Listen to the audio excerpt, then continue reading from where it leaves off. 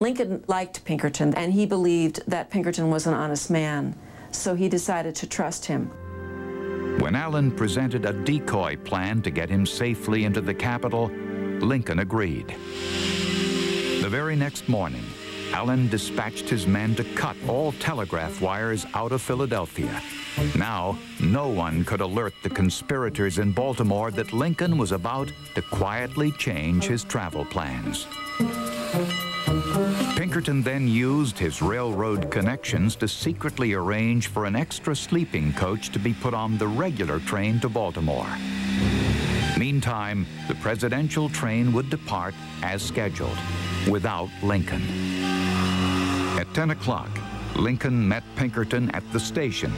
He disguised the six foot four inch president and escorted him to the extra sleeping car. The train charged into the night. Pinkerton stood at the door, looking ahead for lights.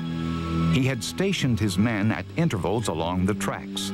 They were to flash lanterns as the train approached so that Allan would know that the tracks were clear. It all worked to a T. Lincoln arrived safely in Washington at 6 a.m. The papers did not go easy on the president-elect for sneaking into the Capitol. But had it not been for Pinkerton, he might not have arrived at all.